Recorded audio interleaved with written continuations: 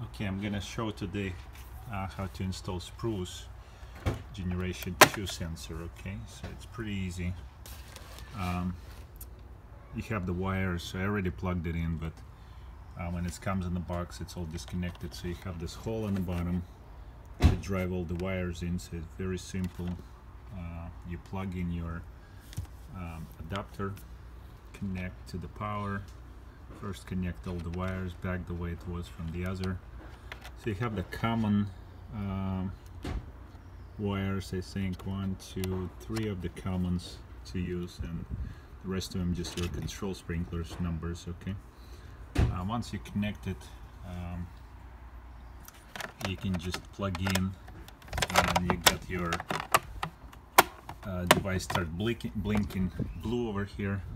You can see right now so now it's a flashing blue and uh, it's connected to Wi-Fi. When it's not connected it will just blink blue and you connect to device Wi-Fi and then set up sort of the web application. So there is no application available for iPhone yet. Now I want to integrate it with the SmartThings so that will be a next step. Uh, subscribe to my channel. I'll be publishing the uh, connection integration I already did sensors with the spruce. They look uh, works really great. So see you uh, on the next one